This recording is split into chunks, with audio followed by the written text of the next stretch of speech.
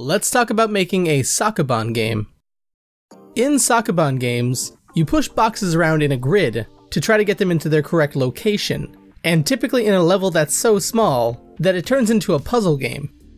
So I have a player object, a box to push around, a wall to stop the player, a marker object I can use for object picking, a floor for the background, and goals, spaces that I want to push the boxes to. If I go to the events, we'll start with movement. In this case, I'm not using the built-in top-down behavior because I need a very specific kind of movement.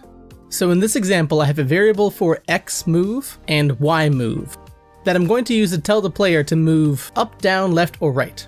So if I press the A key on the keyboard, it will change the X move position to negative 64. So we can tell the character to go left 64 pixels, which is the width of the player object and the size of our grid. And we do the same thing for the other key presses. Now these don't need to be key presses on a keyboard, I could put on-screen controls into the game scene and use that to control the character on a mobile device. And then if I go down, we'll see how we're using those variables. So if the variable for X or Y is not equal to zero, which means we press one of those buttons, we'll create a marker object on the player. And then with that marker, using a while event type, which you can get by right clicking on an event, going down to add other, and finding while. And you need to be careful with this kind of event, because if the condition stays true, your game will freeze and it won't render the next frame.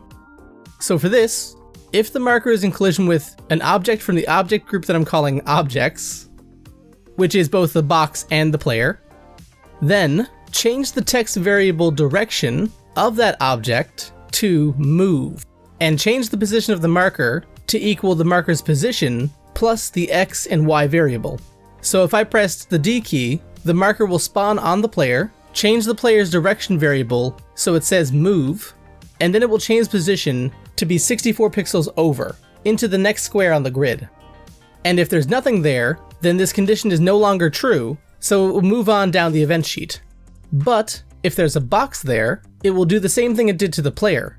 Change the direction variable to move, and then move the marker over again. And if there's another box, it'll do the same thing, and it will keep hopping down the line until it's no longer in collision with an object from the object group. So when the marker finally gets to a point where it's not in collision with an object from that object group, we check if one of these conditions are true.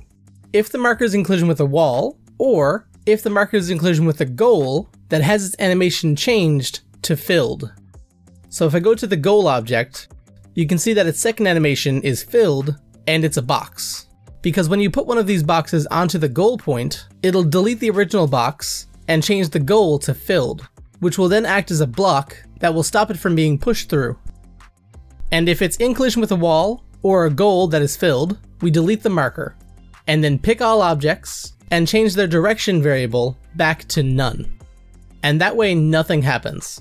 So the marker will hop through the objects, hit the wall, get deleted, and then change all of the objects back to none. But if the marker still exists and it gets past that event, this time, we're still going to change the object back to none, but before we do that, any object that had its text variable changed to move has its position changed based on the x and y variables that we changed above.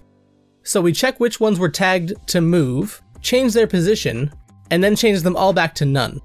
So a quick recap, when there's no box next to the character, and we tell it to move over, it creates the marker on the character, and then the marker moves over one tile. Because it's not in collision with the wall, or a goal that's filled, it will move on, see that the player has its object variable changed to move, and then add the x and y coordinates to that of the player, and then change it back to none. But if there's a box there, that marker will hop along the boxes until it gets to a point where it's not in collision with the player or boxes. And if that point isn't a wall, or a goal that's filled, all of those objects that were tagged to move will move over, and then get set back to none. But if there was a wall there, all of the objects will be set back to none without being moved. And then, if a box is over a goal object, and the animation of that goal object is empty, delete the box, and change the animation of the goal object to filled. So now, that goal object is going to act like the wall. And then, once all of that is done, we reset the scene variables for x and y to be 0. So they're not triggering that above event anymore. And then the game is won when the number of goal objects with the filled animation is equal to the total number of the goal objects in the scene. At which point we show the win layer. And then lastly, if you mess up and need to restart, we're using a custom button object, which can be found in the asset store, and then using its condition is clicked. We change the scene to the current scene, which is an expression you can get by typing scene into the expression builder. Now if you like tiled-based games, then you might be interested in this video where we show how to do the basics of a city builder game.